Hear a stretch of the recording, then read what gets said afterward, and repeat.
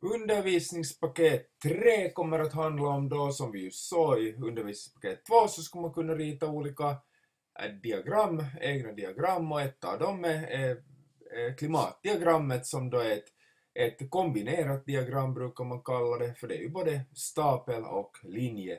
Linjen är ju alltid den som visar temperaturen och staplarna visar hur mycket det regnar under årets 12 månader. Och på det här sättet måste man ju kunna rita ett diagram med två y-axlar och en x-axel och det går jättebehändigt i LibreOffice, det här diagramritningsprogrammet som du som sagt motsvarar Excel.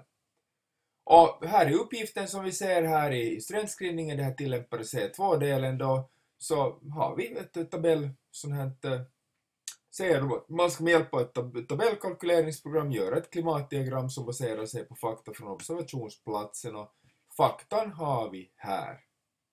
Och då måste man ju börja med att öppna LibreOffice och det program som det gäller är det här Calc Spreadsheet, så det är det här som man använder för att rita. Och då ser ni att det är exakt som Excel. Nå, hur ska man börja?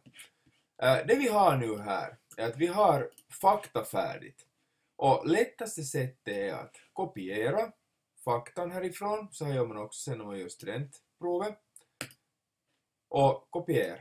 Sen går vi tillbaka till vårt tabellprogram och nu, eh, nu, nu klistrar jag in det från nummer två framåt. För den här rad ettan kommer jag att använda till månaderna 1 till 12 för att de ska ju synas då. Så när jag då högerklickar och paste, alltså infoga, så får jag nederbörden på nummer 2 och temperaturen på rad nummer 3. Och de här kolumnerna kommer att vara värdeserier då gällande millimeter regn och Celsius-temperaturen. Så värdeserierna har vi här i de här kolumnerna och i raderna har vi då eh, faktan, alltså helt enkelt egenskapsdatan. Och nummer ett så skriver vi då in månader. Det är ingen skillnad, fonten är inte densamma. Månad 1, månad 2, 3 och så vidare bort.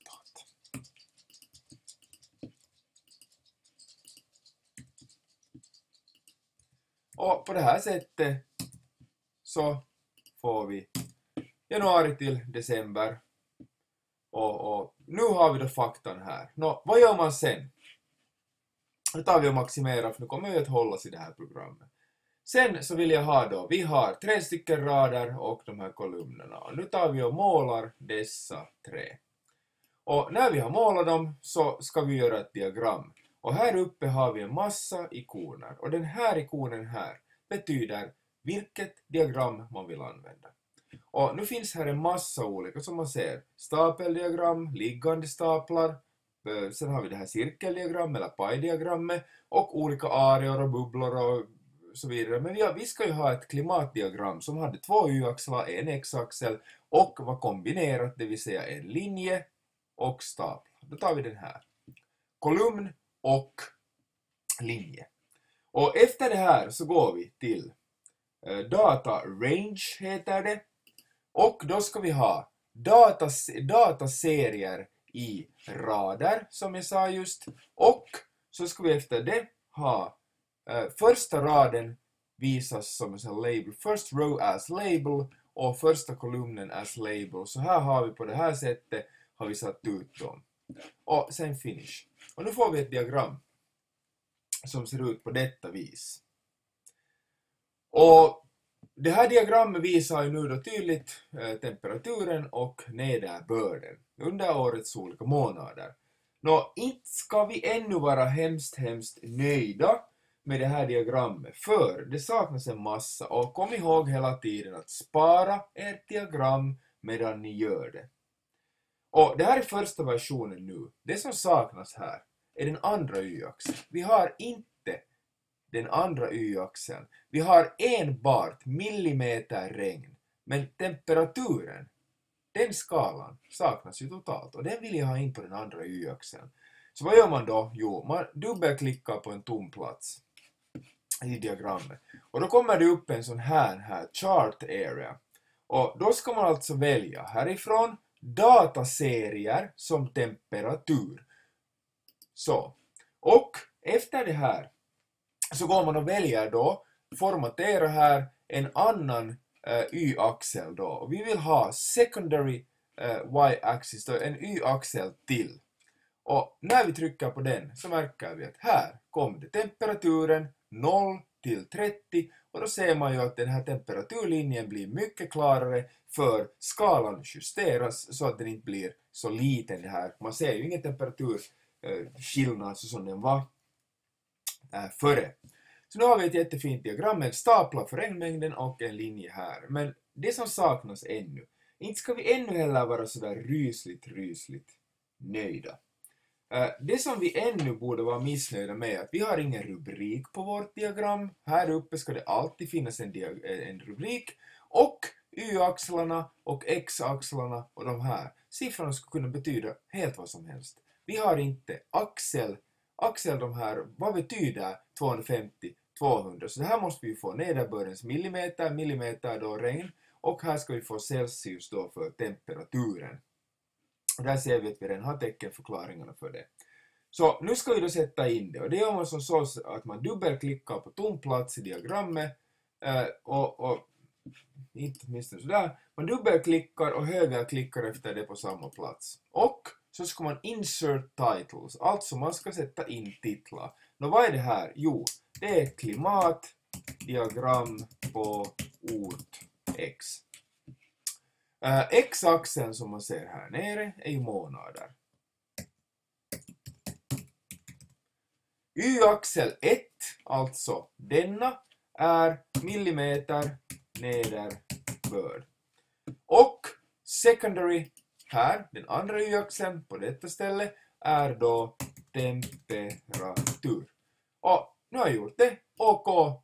Yes, mitt diagram ser otroligt bra ut just nu. Eh, vi har linjen här för nederbörden, vi har snyggt utsatt axel, vad de här axlarna betyder och vi har ett fint, fint, fin rubrik. Ett bra diagram ska alltid ha alltså rubrik, axlarna ska vara namngivna, alla axlar man har och det ska finnas en snygg legend, alltså teckenförklaring i diagrammet. Och nu skulle vi kunna ta, alla skulle göra en liten uppgift. Och uppgiften skulle vara följande. När vi ser nu här på min, mitt, mitt, mitt eh, dokument så eh, seminarier kallar vi de här sådär lite löjligt och lekfullt. Och här har vi alltså då hur man gör. Och jag kommer också att ladda upp det här eh, den här, det här receptet kan man säga som ett bullarecept, hur man gör ett diagram, exakt det jag visar just här, eh, så kommer jag att sätta upp den här vad man ska klicka, hur man ska göra, vad man ska välja. Och det jag vill nu att alla skulle fundera på är övningarna. Och övningarna som alla skulle kunna fundera på är att man har ett material. I ett gymnasium finns det 100 elever. Av dessa promenerar 12 stycken till skolan, 23 stycken cyklar, 30 åker buss och 35 åker moped eller motorcykel. Och det vanligaste när man ska visa en sån här fördelning då procentuellt eller styckeantalet använder ett cirkeldiagram förstås. Och fast de inte skulle sätta ut att göra ett enkelt cirkeldiagram så skulle man borde veta att det är det bästa sättet att visa en sån här fördelning.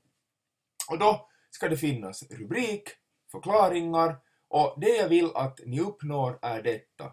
Ett cirkeldiagram med utsatta siffror för eh, pajstorlekarna och sen då en teckenförklaring och en rubrik. Den andra uppgiften som ni ska göra är en sån liten biologisk, eh, biologisk fakta. Här har vi då, måsarna har i medeltal fyra ägg i sitt bo. Tärnor tre, skrakar två och skarvarna fem. Det här är hypotetiskt casefall, inte baserat på någon uh, forskning, utan det är bara ett exempel.